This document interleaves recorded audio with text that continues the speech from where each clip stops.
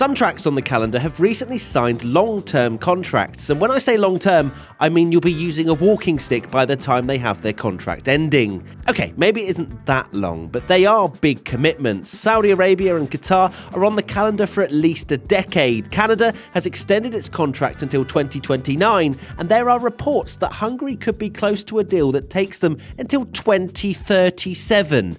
Jeez, 2037. That would make me 44 years old. Maybe I will need that walking stick by then.